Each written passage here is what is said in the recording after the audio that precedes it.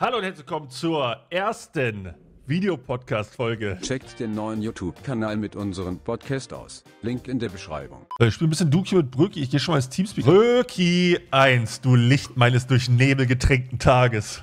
Oh mein Gott, das war sehr, sehr schön. Hallo, Kuchalol, wie geht es dir? ¿Cómo estás? Ja, äh, äh, una cerveza, por favor. Una grande cerveza o una pequeño cerveza? Una grande. Muy bien, muy bien. Wir haben einfach in Spanien, haben die teilweise einfach weiter Spanisch gesprochen. Wenn du angefangen hast, Englisch zu sprechen, haben die einfach weiter Spanisch gesprochen. Es war denen so scheißegal, was du zu sagen hast. Nächstes Mal nimmst du mich als Dolmetscher mit. Ich habe jetzt 40 Tage Duolingo-Streak schon. Ja, ich habe jetzt meinen Weg zurück zu League of Legends gefunden. Warum? Geldbrücki. ich habe doch gern Dach über dem Kopf, ist mir aufgefallen. Der Prime Sub Nerf, der hat schon gut wehgetan, wenn ich so in mein Dashboard reingucke. Ich will gar nicht so nachschauen, glaube ich. Und wann geht denn der rein? Der ist jetzt seit äh, einem Monat aktiv. Oh mein Gott, ja. Aber Ich habe mal, ich hab mal nette 1500 Dollar weniger durch Prime jetzt einfach. Ich habe gehört, du hast schon ein Kostüm für das Start-Event? Nein, das war meine bessere Hälfte. Ja. Die hat sich da wieder Mühe gemacht und hat uns was Schönes rausgesucht. Aber ich kann jetzt noch nicht spoilern, aber ist auf jeden Fall sehr süß. Jetzt kriegt der mir Flash weg, der Bastard. Dann gibt's Pike. Will- Willst du haben Gin oder also willst du, willst du erste Runde erst mit dem Gin reingehen? Ja, lass mal gewinnen. Dass die Stimmung ein bisschen hoch ist, weißt du? Ich bin wahrscheinlich während der Neu- Neu-Ulm-Showmatch sind wieder und ich auf der großen Primetime-Wohnmobiltour wahrscheinlich. Dann müssen wir extra einen Tag nach Ulm fahren. Ihr macht eine Wohnmobiltour? Ja, ja. Also ist schon zu 99% safe. Wir machen dann quasi Wohnmobil-Sabaton. Für jeden Sub fahren wir einen Kilometer. Oh mein Gott. Geile Idee, oder? Aber es ist eine richtig geile Idee. Das ist so fucking funny. Und der Chat darf entscheiden, wo wir hin müssen und kann uns Quests geben. Ich habe nur leider vergessen, dass in dem Zeitraum, wo wir das geplant haben, die, das Showmatch ist. Deshalb müssen wir jetzt anstatt die Côte d'Azur lang zu fahren, leider nach Neu-Ulm einen Tag. Na, dann, wenn du es mit deinem Gewissen vereinbaren kannst. Ja, mal gucken. Ich muss ja auch mal für die Stream Award äh, Content-Route gehen, weißt du? Ich will ja auch mal so einen Teil irgendwann haben. Ja, das gewinnst du in aber- League of Legends nicht. Na, nur du und Romatra oder noch mehr, eine größere Gruppe? Wir haben vielleicht noch Passi dabei als Kameramann. Also mit Brugis Headset, weiß ich nicht, Brugis klingt doch normal, oder nicht? Wird auch sagen, ich klinge normal. Bisschen, bisschen rauschig im Hintergrund, aber sonst. Ja, das möchte ich mal sagen. Klimaanlage, du bist also Umweltsünder. Spielen. Kein Aftershock mehr. Flashen wir? Boah, stehen uns blind, braucht gar keine vor dir.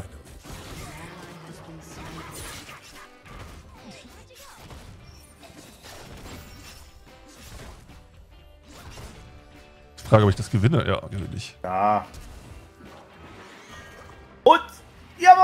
Nein! Oh. ich habe länger nicht gespielt, Brücke über 1. Ja gut, gute Vorbereitung für das V9-Match heute Abend. Wenn du weiter intest, muss ich dich flammen, weil gestern tun sind auch geflammt. Jetzt tut's mir leid. Mach doch, ich gebe halt, ich geb halt Kontra, ne? Das hat mir das nicht gefallen, so wie Toni. Tunsen. Na, sie hat dir auch nicht gefallen lassen. Achso, nee. Nee, aber sie ist denn so süß dabei, deswegen ist. Willst du damit sagen, ich bin nicht süß?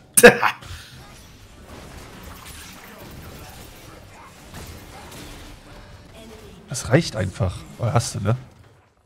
Hast du. Die ist Level 3 geworden. Das ist richtig bitter, ja. Junge. oh, Mann. Na, leider auch wieder Counter zu Jin, aber. Ja, ja, hat äh, auch Hardcounter zum Pike. Läuft super. Ja, man muss einmal wieder reinkommen, Leute. Das ist nicht wie Fahrradfahren liegt. Das ist Übung. Bei dem Frechdachs können wir jetzt hier mal zeigen, wo der Frosch die Locken hat, sag ich immer, ne? Ja, komm mal her, du kleiner Lurch. Ja, oh, das das- Die hat Angst. Hm. Ich Ja. lass dich mal sterben, ne? Ja, ja, ja, ja. Genau. Oh, Triple Stun. Schön.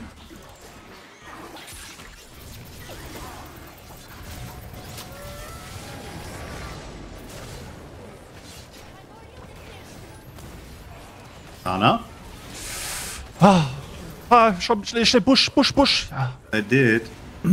Du kleine Bitch.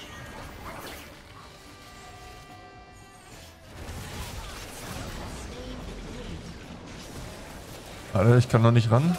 Okay, Nice. 1. Vielleicht doch wie Fahrradfahren, ne? Ja, ein bisschen, ne? Und neuer Champ oder so kommt jetzt auch, ne? Ja, heute Abend wohl. Aber erst kommt dieser Swarm-Modus. Swarm ist. Oder so.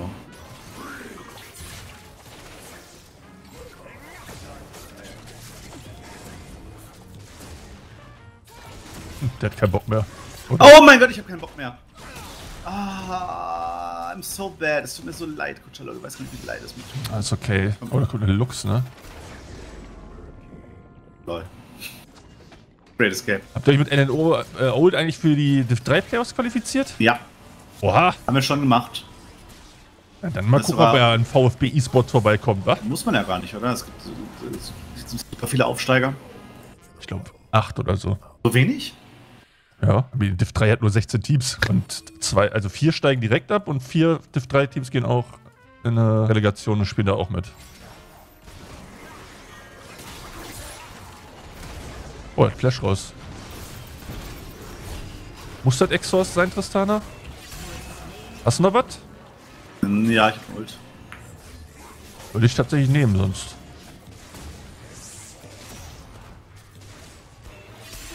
Besser ist. Na gut, ob ich auch Swarm spiele? Ich glaube nicht, nee. Mich jucken diese Will Game Modes irgendwie immer nicht so. Ich spiele das- nur League of ist Legends und Elden Ring. Ach nee. Ah, Loser. Habt ihr euch bei diesem Prime-Pokal angemeldet? Ja, angemeldet schon. Aber, Aber zu spät. Ah, Äh, deswegen starten wir jetzt mit 0-2 rein. Ja, wie doof äh, original die Frage, ne? das Viertel übrigens. Wünsche ich dir viel Glück. Oh, passt schon. Zack.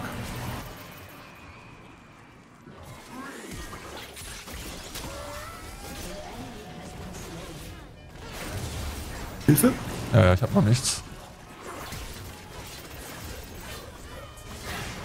Das war nicht drauf. In my book. Ich hab Bock, die zu töten, Burgi 1. Oh. Das ist wie Fahrradfahren. Ja, sag ich ja. Ach, Davon- scheiße, ich habe heute wieder ein Spiel. Ja, dann, aber ich, das passt ja. Bis 18 Uhr können wir machen. Kein Klavier Elden Ring mehr. Das können wir auch noch machen, aber es geht auch echt in die Hände, muss ich sagen. Und es guckt auch keine Sau bei zu, von daher ist das auch suboptimaler Content. Ich will so hasserfüllt sein wie dieser Mensch. Mimi. Du so Schwanz. Ach komm. Du lebst. Und Primes bringen halt nichts mehr, da bedanke ich mich nicht mal mehr für. Das war mich jetzt Dank. morgen. Will ich six hier. Ich habe ein bisschen geintet. Oh. Scheiße, Lux Ult. Äh, Ah, ich bin so geil, Mann. Junge. Und er fährt in die falsche Richtung. Hallo, liebe Lumen TV. Um 17 Uhr kommt ein Spiel raus in League of Legends, äh, ein sogenanntes Swarm-Game. Und wir haben eine tolle Truppe zusammengestellt, äh, bestehende aus Suitunsen, Kuchalol und mir. Und wir würden gerne mit dir eine Stunde verbringen, eine Stunde deine, deiner wertvollen Zeit klauen, um äh, diesen Spielmodus mit dir anzu, anzu, anzutesten und kennenzulernen. Wir würden uns freuen, wenn du dabei wärst. Äh, liebe Grüße. Da kann man nicht Nein sagen. Kommt eine fette Ult reingecheppert.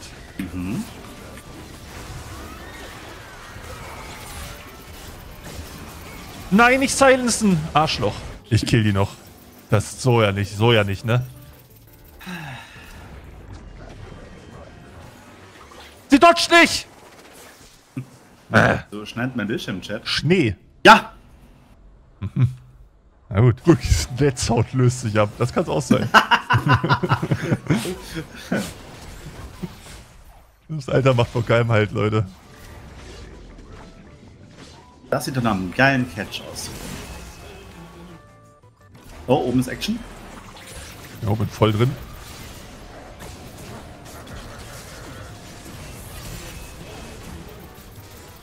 Wie, wie kann ich. Ach, whatever. Ihr gewinnt das Showmatch.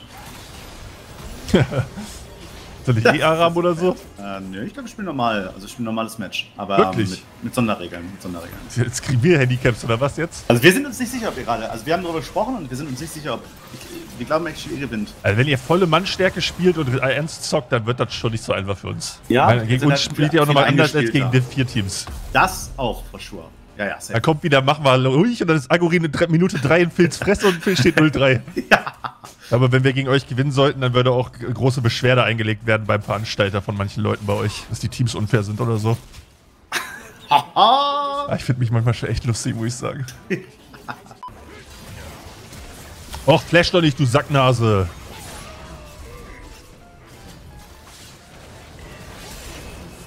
Killing Sprayer. Hat Johnny eigentlich schon unseren Urlaub geplant? Nee, ich habe ihn darauf angesprochen und er meinte. nach Madrid er hat wollte? anderes, Er hat gerade anderes zu tun. Achso, na gut. Klar. Reicht doch noch mit Dodgen, ne? Wie war denn die TFT-Weltmeisterschaft so allgemein? Mm, es war actually witziger zu casten als gedacht. Es hat actually wirklich Spaß gemacht. Ich habe manchmal ein bisschen reingeguckt, als so die letzten Runden anstanden, wo dann. Ja, die Energie nimmt natürlich ab nach so sechs Games. Ja. Ähm, also auch beim Cast, aber es war an sich sehr, sehr, sehr, sehr lustig. Für mich zumindest, weil ich musste nur daneben sitzen, die ganze Technik hat Johnny gemacht und Mhm. habe nur so Fragen gestellt und Witze gemacht und so. Und das, das, das ist schon wirklich unterhaltsam gewesen, auch für mich. Ich habe halt nichts verstanden, aber ich habe auch ein bisschen zugeguckt. Hat Solo jetzt trotzdem irgendwie Preisgeld bekommen oder gar nichts? Ja, aber da muss ich über Preisgeld bei TFT, also es ist wirklich crazy. Was gewinnt Leute, denn der Gewinner der, da? der Gewinner hat 150k bekommen. Das Und das geht. gut. Das ist crazy. Das ist mehr als Aber ein League of Legends Spieler, wenn du es aufs Team runterrechnest. Aber Solo ist gehört zu den besten 32 der Welt, laut Weltmeisterschaft. Ne? Ja. Wird 20. Platz und kriegt 4000 Euro. Na gut. Und das ist halt für, das ist ja die einzige Einnahmequelle für Spieler. Nicht die einzige, aber das ist so die Main-Einnahmequelle. TFT ist ja E-Sport-technisch noch in, der, in den Dark Ages. Aber hat auch nicht so viel Interesse, muss man sagen. Ne? Ja, so, ja. Da wird es wahrscheinlich auch nicht viel mehr werden. So. Ich nicht, wie Riot darüber denkt, ob das ein Verlustgeschäft ist, E-Sport überhaupt zu machen. Weil TFT könnte man ja auch einfach nur casual spielen. Ja, ich denke, die meisten, die das spielen, werden nicht so E-Sport verfolgen, oder? League ist ja schon eher, obwohl, ja, weiß ich nicht, ob es jetzt so eine krasse Werbung ist, der E-Sport. Was ist denn hier los, Alter? Zwei Pflanzen? Ist mehr Randomness League. Ja, safe. Das, das macht man gar nicht aufmachen. Nur den einzigen Randomness-Faktor, den man rausnehmen sollte, wenn ist Drachenspawn. Bei League? Ja, gab ja schon Das oft so Vorschläge, dass so du in der, in der Champ Select siehst, welche Drachen spawnen. So. Also klar macht das was aus, aber ich glaube, es würde nicht so viel ausmachen, wie Leute denken. Also ich glaube nicht, Ich dass glaube- die Meta dadurch krass changen würde, drafttechnisch. Aber am Anfang zum Beispiel. Oha. Äh, ich glaube, am Anfang zum Beispiel. Am Anfang würden Leute das halt einfach komplett overvaluen und Ja. übel krass darauf steigen und Safe, andere safe. Champs draften. Nur um dann halt wieder zur Normalität zurückzukehren. Aber dann macht es doch trotzdem einen Unterschied. So, es ist halt einfach. Ich, ich denke ja, die Souls sind mittlerweile ja windrate-technisch auch alle relativ. Also ich, ich, ich wüsste keinen Drachen, wo ich sage, den holen wir nicht, nur weil es der Drache ist, weißt du? Man holt ja einfach trotzdem jeden Drachen, meistens, wenn es geht. Ja. Also man wird schon anders value, wenn du weißt, es wird eine, weiß ich nicht, eine Cloud-Soul oder so. Aber dann kommt es auch drauf an, ja, gut, welche Teams du hast. Aber ja. Aber ich gibt ja auch kein Argument, was dagegen spricht, die Drake-Spawns einfach anzuzeigen, oder? Genau. Ob das dann viel Impact hat, ist ja eigentlich scheißegal. Stellt euch vor, dann dodgen welche wegen scheiß Soul. Könnt ihr vorstellen, so eine QL. Ist Warmox jetzt schon nerfed? Ja, ne? Mm, ja, die Threshold halt für diese. Für die Life-Rack ist nervt, ne? Ja, das ist Item nerf genauso. quasi. Ja, ein gutes Item, safe. Ah, wirf ein Schwert, wirf ein Schwert, wirf ein Schwert. Wirf doch das Schwert, du Affe. Mann. Ja, ich habe leider keine Boards für den Soulfight und der Gary macht da unten ganz schön, in der Mitte ganz schön Druck. Ah, egal, das sollte er erklären können, oder? Oh, schöner Chunk. Okay.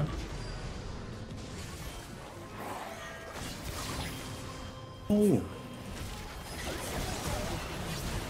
Gabriel ist gone. Das Soul ist doch schon interessant für ODPS Ranger Kiana und so, die von ein bisschen mehr Terrain beeinflusst werden, oder? Also, wenn du als Team eine Soul kriegst, dann ist meistens nicht wichtig, welche Souls es ist. Also, ich glaube nicht, dass es so viel Impact hat, wie mal Leute denken, weil welcher Drache spawnt. Es steht 3-3 in Drakes und dann kommt Soul und dann ist die Soul, das Team, das die Soul kriegt, dann auch noch so aufgestellt, dass genau die Soul den Unterschied macht, weißt du? Und die anderen Souls keinen Unterschied gemacht Äh, hätten. aber Terra ist, Terra ist ja schon different, ne? Also, das, das Ja, ich aber ja gut, ich bin jetzt kein Ranger-Spieler oder so. Ob das jetzt wirklich so krass, also klar, das ändert was, aber ist es so heftig, dass das Spiel dann, sag ich mal, einfacher oder 20 mal schwerer ist? Da kein Hookup. Oh, der Mensch ist ja süß, wa? Nope. Lecker. Da war noch ein schönes erstes Game in der beste Freunde Duke hier. Wenn du jetzt eine Tour durch Deutschland machen würdest, ne? Ja. Welches Ziel würdest du anfahren? Und ich rede jetzt Ich nicht von würde- Jugendspielern. Ich würde mal äh, so Sachen, so klassische deutsche Rentner-Urlaubsplaces anfahren. Ich Zum Beispiel schön sagen, zur Ostsee. Zum Beispiel zur Ostsee. Dann würde ich mal in den Schwarzwald wollen. Oh. Oder auch mal in den Harz. Ja, da Das bist du ja hier bei so mir Dinge, immer herzlich willkommen, ne? Da habe ich nämlich gar keinen Plan von, wie das, wie das, was das überhaupt bedeutet oder was das überhaupt ist. Ja, das klingt gut. Bielefeld, auch schön.